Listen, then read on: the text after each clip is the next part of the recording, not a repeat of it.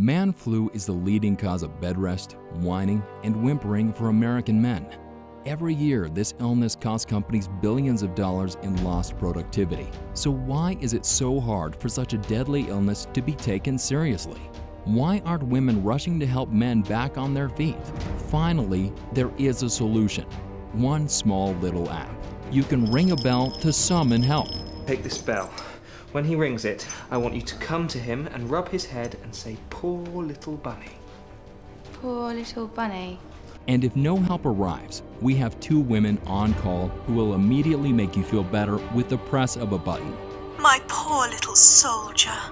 Let me wheel the TV over so you can watch the football game. I know it sounds funny, but the way you beg and whine at the moment just makes me feel so needed, so lucky. If Man flu the app can't get you back on your feet, nothing will.